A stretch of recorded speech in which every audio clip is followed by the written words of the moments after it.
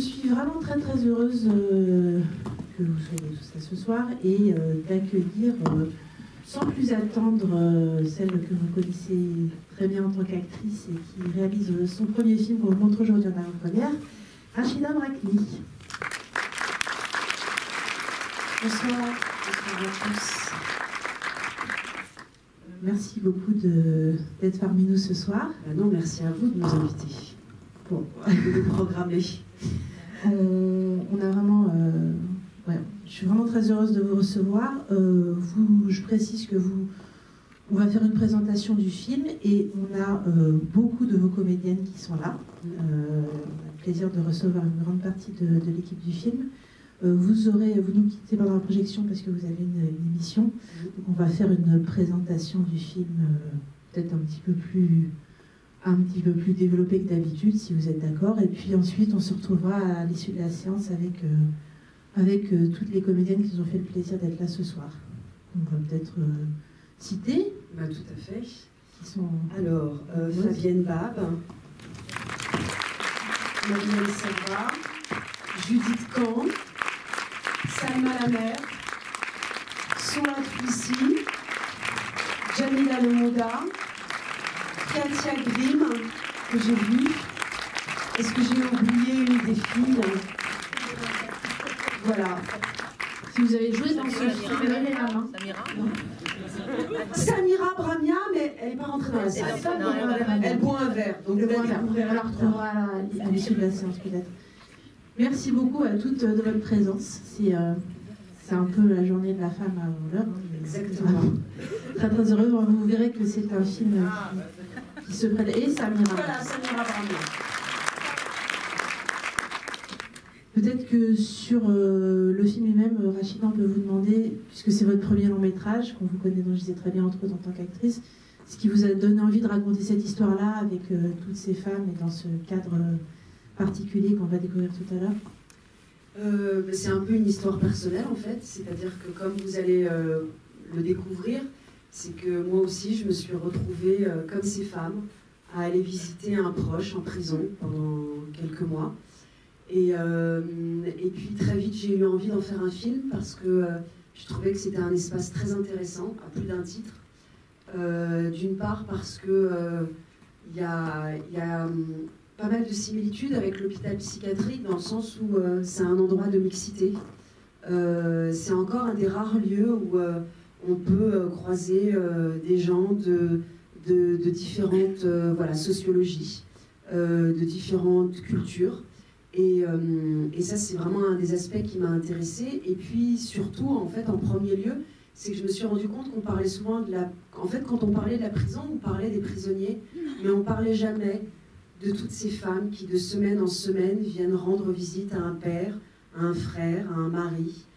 Euh, et, voilà, j'avais envie de parler d'elles, parce que je trouvais aussi que c'était le seul lieu où elles n'étaient pas jugées, et qu'en fait, euh, quelle que soit la peine euh, d'un juge, la peine qu'il inflige à un, prisonnier, à un détenu, il y a une peine qu'on. Voilà, on n'imagine pas qu'il y a aussi une peine indirecte, d'une part, et puis il y a une peine qu'on ne peut pas quantifier qui est l'amour. Et, et l'amour, voilà, quand on est mère, quand on est femme, quand on est euh, sœur, quand on est euh, petite fille, euh, et ben, quelle que soit euh, la peine qu'on inflige à un proche, on ne peut pas laisser tomber l'autre. Et comment, on- malgré tout, on garde ce lien avec celui qui est de l'autre côté des barreaux.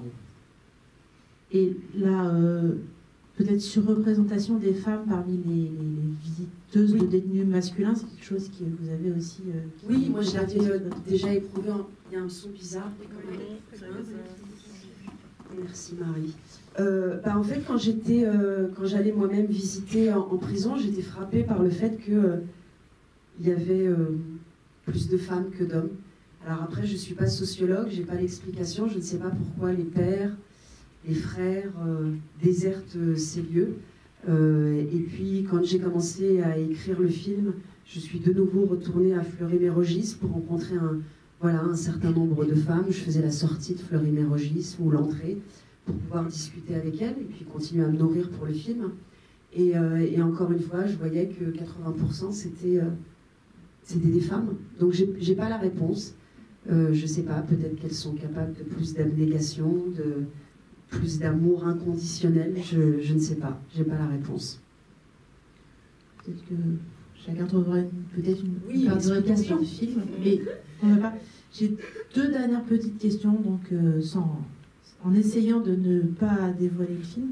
Euh, une sur le lieu du tournage, parce qu'effectivement, une grande partie du film, sans dévoiler, euh, se passe dans la prison. On sait que c'est pas facile, voire impossible de tourner dans une prison. Comment est-ce que vous avez du coup trouvé un lieu qui se prêtait à cette histoire? Alors, le, film commence à l'extérieur de Fleury, donc on a pu tourner à l'extérieur de Fleury. Euh, Mérogis. Et euh, ensuite, on a tourné à Maison Blanche, qui est un hôpital psychiatrique désaffecté pour femmes. Euh, voilà. Et comme je vous disais, il y a beaucoup de similitudes. Et puis, on a eu la chance de. J'ai eu la chance, et on a eu du coup la chance d'avoir le. Comment dire? Bah, D'ailleurs, il est là ce soir, je voudrais le saluer. C'est Daniel Bevan qui oui, qui a été le chef décorateur du film et qui a fait un, travail absolument extraordinaire. Euh, voilà, qui a investi euh, ces lieux et euh, qui m'a proposé des choses extraordinaires. On a, on a pu échanger sur, voilà, sur tout un travail iconographique autour de Mathieu Pernaud, par exemple. Il m'a fait découvrir aussi Corgono, qui est un grand photographe, hein, qui a beaucoup travaillé sur la prison. Et on s'est inspiré voilà, de, de, différents travaux photographique. Euh, et, et, j'avais envie que le film, en fait, euh, euh, par rapport au décor, parce que c'est assez important, vous allez voir, c'est un film social. Et moi, ça m'agaçait, ça m'agaçait quand je me suis rendu compte, je caricature, hein, je généralise un peu, mais dès qu'il s'agit d'un film social, je ne sais pas pourquoi il faut que ce soit laid. Et, et, et, moi, je voulais que le film ait une vraie écriture cinématographique et qui s'inscrive dans, quelque chose d'assez beau dans les matières, dans les choix de couleurs, dans le cadre. Et, euh, Dan a voilà, répondu à, ces attentes-là et j'étais très heureuse de pouvoir échanger avec lui et de pouvoir faire en sorte que le film s'inscrive dans une esthétique aussi. Et euh, au même titre qu'avec les, les, actrices, je savais dès le départ aussi que j'allais travailler avec des actrices professionnelles et des non professionnelles. Euh, parce que j'en avais fait l'expérience par le passé sur un film de Claire Simon et j'avais trouvé ça euh, merveilleux de pouvoir mélanger les deux. Et donc, euh, voilà, juste pour vous les présenter, Souad Flissy, c'est une très très belle rencontre. Je l'ai rencontrée dans un bar-restaurant qu'elle tient qui s'appelle L'Atmosphère et qui est, qui est GMAP. Et c'est une très très belle rencontre. Ah voilà. Fabienne Bab, qui est une amie de longue date, j'ai écrit en pensant à elle. Meriem, on a tourné ensemble sur un film de Régis Varnier et je l'avais gardé en tête. Judith Kahn, on a été colocatrice et on a fait la même école euh, il y a fort longtemps. Jamila, c'est ma tata. Et voilà, Salma, c'est une, actrice professionnelle que j'ai découvert en casting et qui m'a tout de suite euh, voilà, interpellée par, euh, par, la brutalité euh, de son jeu et sa ciné-génie. Katia, que j'ai découvert euh, la veille du tournage. je n'arrivais pas à trouver, je cherchais une Rome enceinte. Et c'était très très compliqué parce que c'est un peu une mafia entre guillemets, puisqu'à chaque fois que j'allais rencontrer les chefs de, de, tribu Rome, en fait, il faut toujours passer par le, voilà, par le chef de tribu et il voulait à chaque fois me caser sa femme ou euh, voilà. Euh, et Samira Bramia, euh, qui, que j'ai découvert dans The Voice. j'ai eu beaucoup de mal aussi à, trouver ce personnage parce que je voulais une femme à la fois fragile et capable de porter toute la misère du monde sur ses épaules et qui soit dans le même temps capable d'une force et d'une fougue extraordinaire. voilà, je ne veux pas trop dévoiler, j'en dis pas trop, pardon. Mais euh, voilà, je l'ai découvert dans, dans, The Voice à, la télévision. Voilà, un question extrêmement varié. Euh, je pose une dernière question qui va faire le lien à la fin avec The Voice, avec le début du film. C'est... voilà, on fait les transitions qu'on peut. Euh, sur la musique qui, pareil, je ne dévoile rien, qui, qui intervient presque au début du film mm. et qui est une musique assez particulière pour ce type de film. Qui donne, enfin, je vous laisse peut-être nous dire quelle est cette musique et pourquoi vous l'avez euh, choisie euh, Le film commence avec une version de Johnny Guitar, jouée en langue électrique. Donc une version un peu arabisante de, Johnny Guitar, qui est une très belle version.